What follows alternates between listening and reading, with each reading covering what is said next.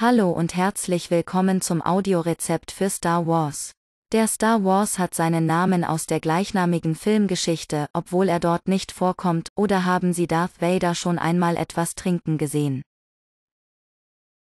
Für ein Glas werden folgende Zutaten benötigt. 4 Zentiliter Gin, 2 Zentiliter Galliano, 2 Zentiliter Creme de Noyo, 4 Zentiliter Zitronensaft, Zeste Zitronenschale, Eiswürfel.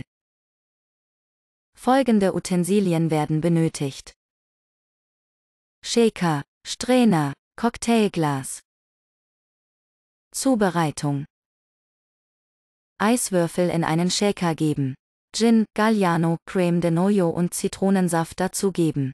Gut durchschütteln. In ein Cocktailglas abseihen. Eiskalt servieren. Als Beilagen eignen sich Crackers, Erdnüsse, Kartoffelchips oder Salzstangen.